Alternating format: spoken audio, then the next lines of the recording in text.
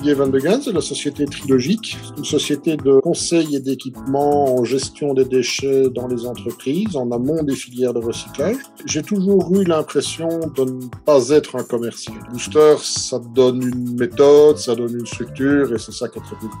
Personnellement, je suis beaucoup plus à l'aise. C'est méthodique, on sait où on en est et c'est beaucoup plus structuré. Ne surtout pas se dire euh, je sais et je sais faire euh, ou de se dire que c'est bon pour les autres et pas pour moi. Non, voilà, c'est enrichissant. Il faut que chacun se remette en question. Et ça permet d'aller de l'avant.